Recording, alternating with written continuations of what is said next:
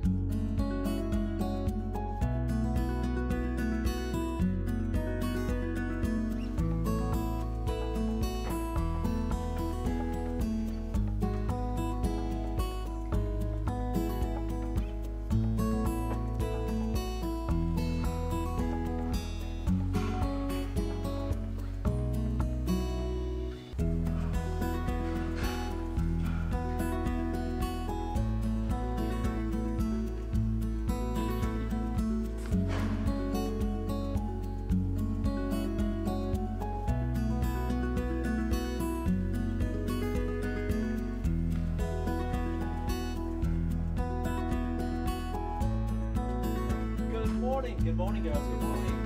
Good morning. Lovely morning, Violet. Enjoy the day. Sandy Margaret, have a good day.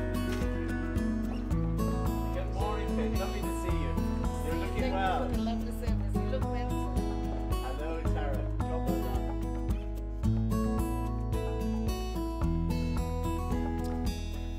In the name of Jesus, may the Lord bless you, keep you, guard you, heal you, strengthen you, so that we can meet together in Jesus' name, love and to serve Him, and to give Him thanks for His great goodness to us uh, and to our land at this very, very difficult time. And we ask this in His great name.